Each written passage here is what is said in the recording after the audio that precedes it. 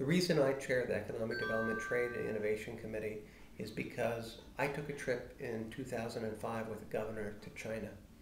I went to Beijing and I went to Shanghai, and what I saw there forever changed my life.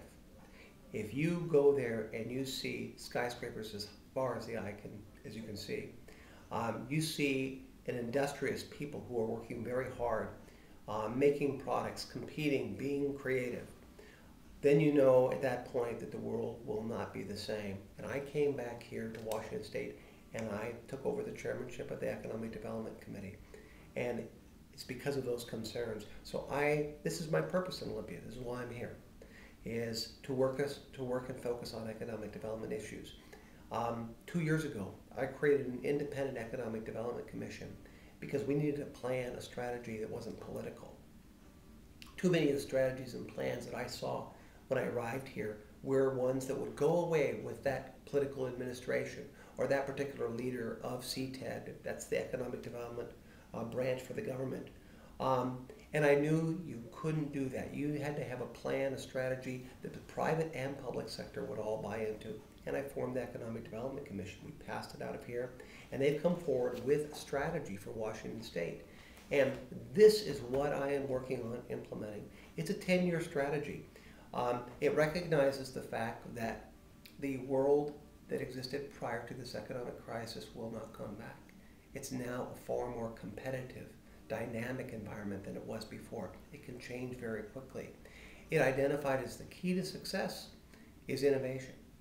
No longer is it just enough to make a mass-produced item or an item that has higher quality and more durable. It's got to be new. It's got to solve the current problems that exist out there. It's got to be innovative, creative. And that's what the strategy does. It focuses on three areas, uh, talented workforce, having a talented workforce, a highly creative one, highly dynamic workforce. It focuses on infrastructure, making sure that we um, put in the infrastructure not for the 1950s, not for the 1960s, but that for this century and beyond. And by that I mean it's an infrastructure that connects people together.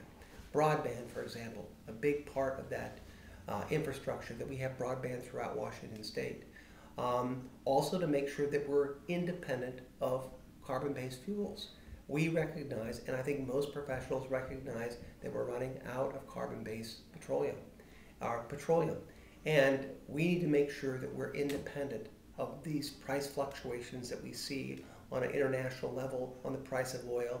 And so we need a lean, green, and clean infrastructure.